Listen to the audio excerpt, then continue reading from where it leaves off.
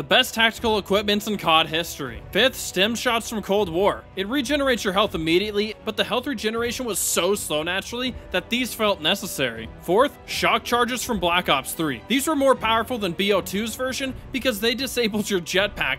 So annoying. Third, stun grenades. From the beginning of COD, these have been very powerful and annoying to be hit by as you're stuck in place, unable to move as you witness your terrible fate happening. I'm doing a face reveal at 100k, so if you want to see me, hit that button. Second, Black Ops 2 EMP grenades. It had a huge blast radius that went through walls and it destroyed all equipment within it. Throw one EMP in a building and all the equipment is gone. And you got a boatload of points for your score streaks for doing nothing. I always ran these. Honorable mention to the dome shield from Infinite Warfare that only lasted a few seconds, like you you.